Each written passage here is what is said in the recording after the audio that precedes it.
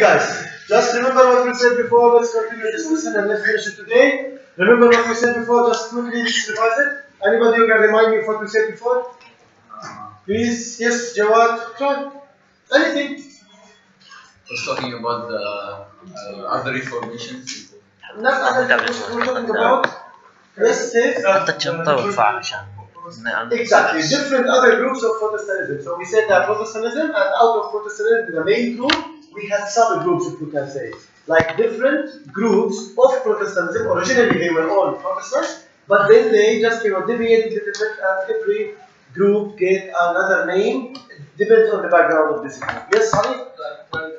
Like Calvinism, for example, Calvinism in which country? Switzerland. Switzerland, exactly. And then we talked about uh, John uh, Knox, who went to uh, Switzerland, who paid a visit to Switzerland, he copied Calvinism and then he went back to Scotland to apply his own version of Calvinism and he gave it the name of Presbyterians. And then we said that the Huguenots or the Protestants in France were given the name of Huguenots and then there was a kind of conflict between the Catholics in France, who were the majority, and the minority of the Protestants, the new group of Protestantism, which was called the Huguenots, as I said, and the result was 12,000 deaths or killed of uh, the Protestants. Then we talked about the role of, uh, yeah, then we talked about another group, the Anabaptists, and we said that Anabaptist means to re-baptize or baptize again, and then I told you the story and how uh, actually they believed in know that uh, We got all origins. Sure, exactly, because when you are child, when you were when you were a child, you were not given the choice to decide whether you want to be Christian or not. So you have to be given this choice again when you are a grown. Then we talked about the role of women reformers. We talked about Renaissance before, and then we said that there were figures, I mean female figures in this age of Reformation of uh, Renaissance. It's the same here as well. Also, there are some figures here, female figures in the age of Reformation. We just you know give uh, some examples, like the sister of the King of France at the time who sheltered Calvin, and also the wife of Martin Luther, who argued about the equality in uh, marriage between men and women. Alright, let's just start with objective number. Guys, from the beginning of uh, the lesson of Reformation, I mean section 3, we were referring to uh, Protestants when we say Reformation, right? When we talk about Reformation, we meant by that Reformation that was done by the Protestants against the wrong practices of the Catholic Church, right? Alright, today we're going to see something else, a new thing, which is the Catholics who were just, you know, sitting aside all that time and they were just watching some of their followers converting to Protestantism. So by time, they recognize that Protestantism is spreading very fast. And if they keep silent doing nothing, then it will come a day when they are going to lose all their supporters. So they have to do something. The thing that was kind of copying what the Protestants were doing. If the Protestants were doing Reformation, then why can't we do a Reformation? If we do a Reformation, then we're not going to lose our supporters.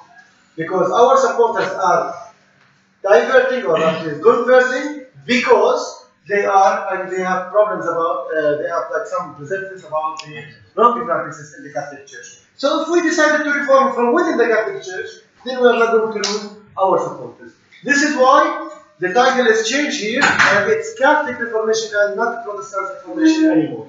But we're going to see if this was a true reformation process or a just fake reformation process. It seems they reformed the Catholic Church from within the Catholic Church. From within the Catholic Church. He wanted to give kind of um, an impression that we recognize our mistakes and we're going to change. We don't want somebody to convert and then ask us to change. Listen to this, guys. Uh, here, actually, uh, it's a turn point in the history of Catholicism. Why turn point? Who can tell me why it's a turn point? Yes, sect. Sorry? First sect. What do you mean? It's first uh, like um, like smaller like sect. No, no, it's not a small sect actually. It's Catholicism. The Catholics were the majority at the time Europe. Guys, can't you see that this is the first time the Catholic Church admit that there is a mistake? Yes, Right? It's a turn point because now they already admitted that there's a mistake. If there is no mistake, then why should they reform? What are you going to reform if you didn't have any problems, right? This is kind of turn point in the history of Catholicism because it's, a, it's the first time they recognize and admit that there are wrong practices in the Catholic Church. No doubt, there are wrong practices. Now let's see how they handle it. We have like three figures here in the Catholic uh, Reformation age. Those were considered as the leaders of the Reformation uh, for the Catholics. Ignatius of Loyola, Ignatius from the city of Loyola in Spain, Pope Paul III, Pope Paul IV, and they have nothing to do with our fake Paul. Ignatius, what was his achievement? He composed a book. He made, he actually named it the Spiritual Exercises. He composed his book after he was engaged in a fight against the Protestants, where he physically injured, and he was thinking of the sins and the mistakes he did in his life. And he just recognized that in one moment he could have lost his life, so he could have lost the chance to compensate or to back up his mistakes. So what that's going to do? Let's devote the rest, rest of the time for worship. He called for different types of worshiping in his book, prayer, study, meditation, other things. Now, uh, then with the blessing of the Pope, he established the Society of Jesus. I mean, it's an organization. Society means organization of Jesus. Uh, As kind of shortcut, they call it the Jesuits. Now, who had three activities or three missions. The main missions, the three main missions of this Jesuits were, first of all, they have to start building schools. Why do you build the school, guys? Why do you guys to, to, to promote for the Catholic education. So it's a kind of how I can how can I gain more supporters by attracting more students to my Catholic schools. So I will raise like a, a- a Catholic generation. This is number one. Number two, Jesuits converted non-Christians. What do you mean by non-Christians? Like people who have no religion. Where in Europe, in Europe, most of the people were either Catholics or Protestants. So where to get people from? Africa. Africa. Bravo. Africa. Which is easier for you to convert somebody who have a religion or somebody who doesn't have a religion? Why? Because his friends and You. Exactly, because if he has a religion, the first thing he's going to do is to compare between his own religion and the thing that you are telling him about the new religion. It's, going to be like something difficult, really. He, for sure, he will find advantages here and disadvantages there and vice. But if he has no religion, like atheism, for example, or like the African people who were naturalists, they used to worship nature. Alright? So it will be easier for them to convert. So, as you can see here, it's commanded, it's another turn point. Why? Because it is kind of a new uh, that fight and new challenge between Protestants and Catholics. It's a kind of race on who's going to gain more supporters now from other continents, not only from Europe. Number three, stop the spread of Protestantism. So it's a mission to stop the spread of Protestantism. How can I stop uh, the spread of Protestantism if I am a Catholic? First of all, by fixing the mistakes. This is why they already say that there is a kind of reformation process. Number two, by creating schools to promote uh, Catholic, Catholic Christianity. Number three, by trying to gain more supporters. So I will outnumber the uh, Protestants. Let's see the second figure and the third figure. Pope Paul the, the third. Pope Paul the third took actually four important steps. First of all, he directed the Council of Cardinals, cardinals means church, leaders or monks, to investigate indulgences. It's okay. Why most of the people who shifted from uh, the Catholic Church were upset? From the wrong practices. What was the main wrong practice? Selling of the indulgences. Exactly. Now, did he say that selling of the indulgences is wrong? Did he admit it? No, he just No. said- But he said that, all right, this is what, what is your, this is your concern. It's okay. I'm going to investigate. It's a kind of, all right. I'm not promising to find like a radical solution for it, but I'm going to investigate the, the issue of, uh, of the indulgences. All right, and other abuses. Number two, he approved the Jesuit order, the organization that was established by Ignatius. What does it mean approved? If you have enough money now and you want to make a company, You can hire employees, you can buy the machines and the tools, and you can start working. Is it going to work like that? What is missing? License. You need a license, you need a permission from the government, right? Without the blessing of the Pope, you're not going to have an effective organization because it's not admitted by the highest position of the Catholic Church. So he already blessed it, I mean approved it. Number three, he used the Inquisition, which is a papal judicial process established to try and punish those thought to be heretics. It's a kind of exceptional privilege that is given only to the Pope because he is the Pope, alright, to punish anybody whom he will accuse of being heretics. Remember when Martin Luther criticized the Pope? The Pope announced him as heretic. Means he's somebody who's speaking nonsense about religion. So he wanted to use this privilege. Number three, he called the council of the church leaders to meet in the city of Trent in Italy, and this is why it was called the Council of Trent. He called the Council of to, to lay out the reforms. What kind of reforms?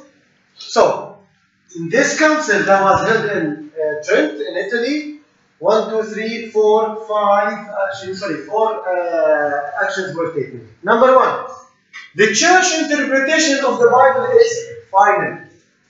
Final. No one is to substitute it or by his or her own interpretation. Is it Reformation, guys? Is it really Reformation when you say that your opinion is final? It means that you don't accept other opinions, right? Is it Reformation? No. It's a kind of yes. I'm telling you that I'm going to reform, but when it comes to real actions, no, they are not taking real actions. Number two, Christians need faith and good work for salvation.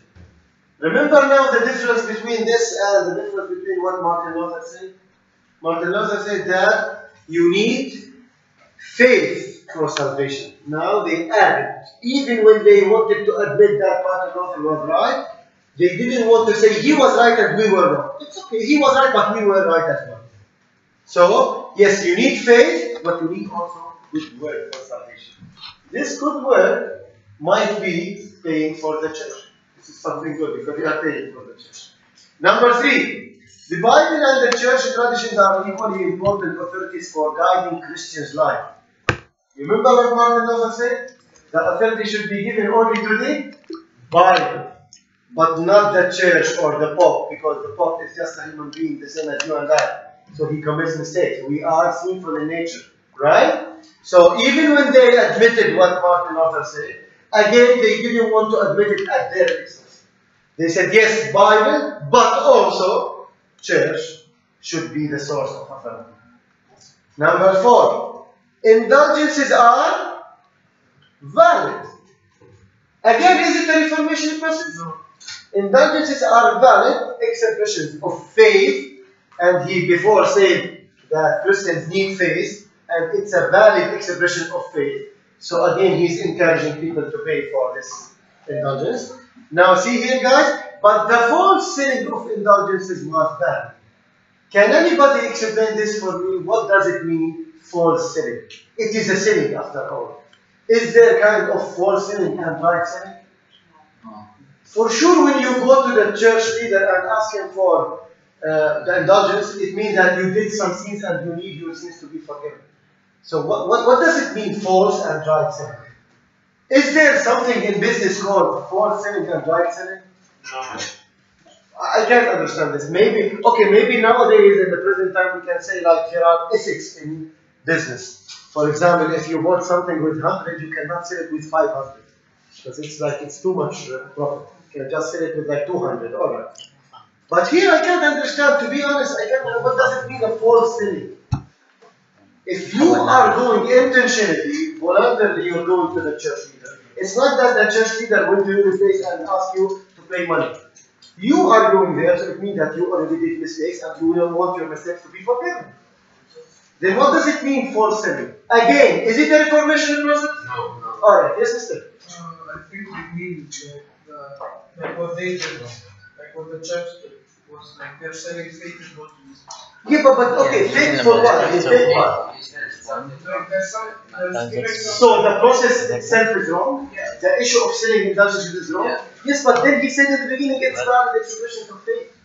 And guess what? The something church leaders were not sinning by force. Again, people who used to make mistakes used to go to the church and ask them for them paper in return for money. Right? So, you could have said, for was sorry, he could have said, for example, alright, you can, or uh, like true believers can get salvation for free. In this case, yeah, I can accept. Because again, human beings are sinful in nature, and for sure they are going to make mistakes. And if they make mistakes, for sure they are going to ask for forgiveness if they are true believers.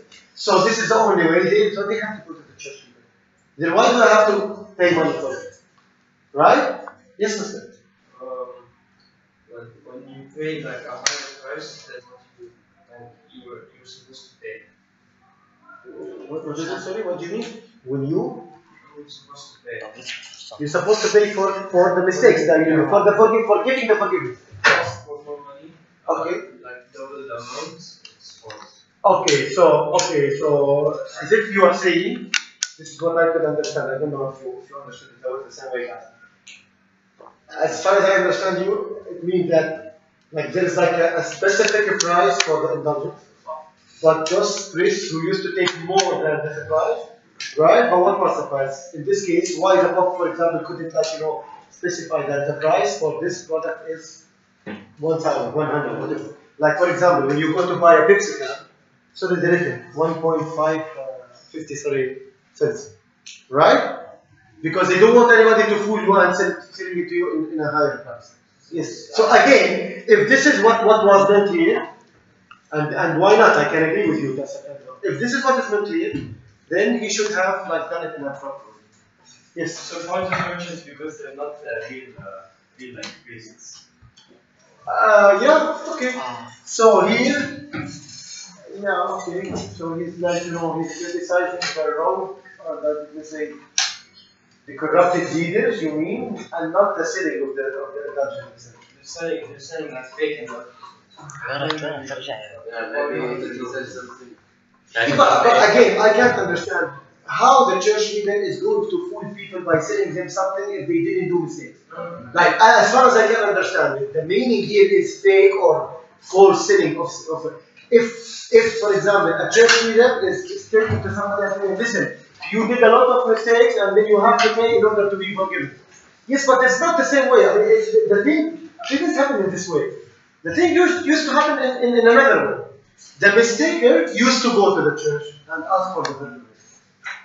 Unless, if when he used to go, go there and confess his mistakes, the church leader used, for example, to make it very big, I mean, even if it's a small mistake, so that he can gain more money. It could, I don't know, it could be, yes. It's like uh, some guy off the street telling them uh, I can sell you Change, yeah. this, Okay. and then they buy from him. And then you accidentally bought it in the.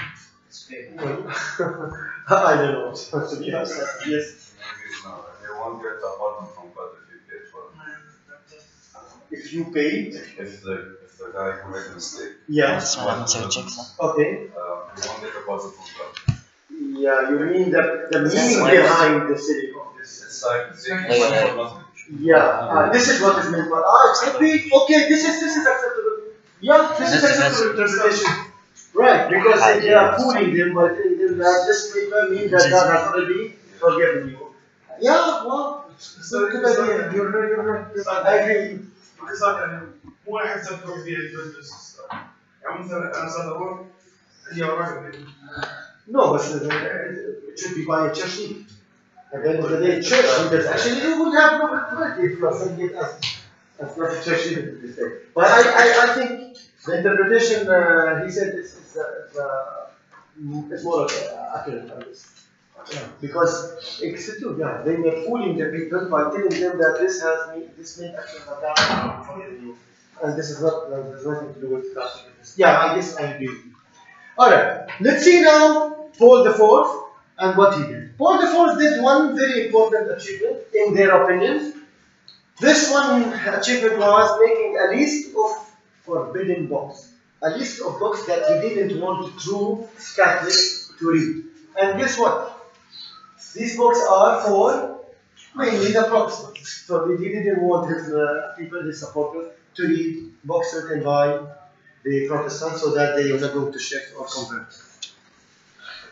Okay, last slide guys is about the legacy of this age. We've been talking about the Reformation for more than two weeks now, and for sure, this age, we say, left certain imprints on the society. There are two actually types of legacy. The first legacy is on a religious and social side, and then on a political level. Guys, in a religious side, Catholic Church was more unified. Do you agree? We started by saying that the Catholics lost lots of supporters. Do you agree that the Catholic Church became more unified as a result of the Reformation age? Who agrees? Only one person? Who didn't agree? Okay, so Ali, right? Your name is Ali, right? Can you tell me just why you agree with this? It's the improvement. They're looking at the mistakes after. Uh, Guys, do you know that he's the only one who just got it right?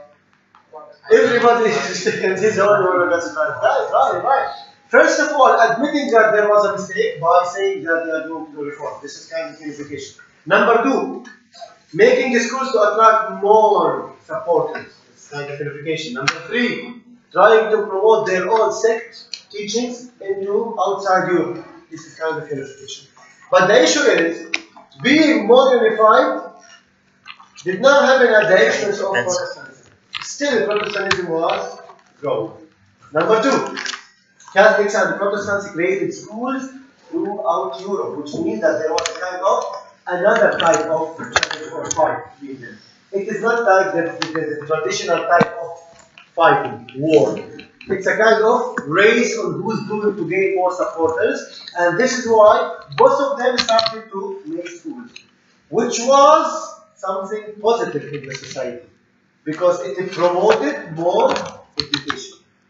So can you see now how history is ironical, guys? Out of negativity, we got positivity.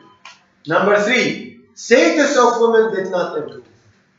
So although lots of things took place in Europe at that time, but still women were always projected as housewives. Alright? On a political side, Catholic Church power listened, no doubt. Remember during the Dark Ages and the beginning of the Renaissance age how the church was very strong, was dominating actually. Now they lost their power to the kings and monarchs. Remember the story of King Henry.